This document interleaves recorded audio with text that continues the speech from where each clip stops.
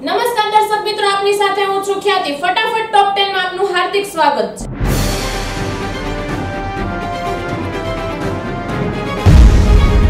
અમેરિકાએ લશ્કરે તોયબાના અબ્દુલ રહેમાનને વૈશ્વિક આતંકી તરીકે ઘોષિત કર્યો છે.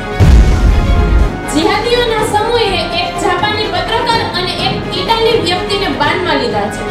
જ્યારે તેઓ પોતાની રિહાઈ માટે આજીજી કરતો વિડિયો થયો વાયરલ મેક્સિકોમાં અતિ ભારે વરસાદ દરમિયાન એક વિમાન ઉડાન ભરતા વિમાનમાં આગ લાગી હતી. આ આગમાં 85 લોકો ઘાયલ થયા હતા. પાકિસ્તાન ચૂંટણીના તહેરીએ ઇન્સાફના વડા ઇમરાન ખાનને ભારત દેશના વડાપ્રધાન પીએમ મોદીએ શુભેચ્છા પાઠવી હતી.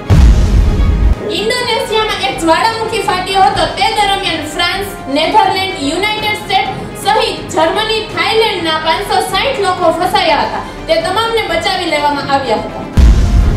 એશિયાના એક પાયલોટના નશાના કારણે 185 મુસાફરો 10 કલાક સુધી પરેશાન થયા હતા.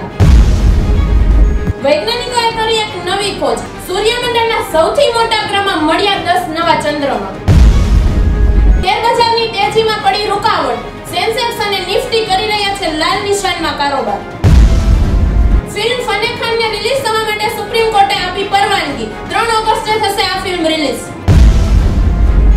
ભારતીય હોકી મહિલાએ હોકી વિશ્વ કપમાં ઇટાલીને પરાજિત કરી ક્વાર્ટર ફાઇનલમાં મેળવ્યો પ્રવેશ. તો દર્શક મિત્રો, આ આજના ફટાફટ ટોપ 10 આવા જ રસપ્રદ સમાચાર માટે જોતા રહો લોક ફરિયાદ ન્યૂઝ રાજકોટ.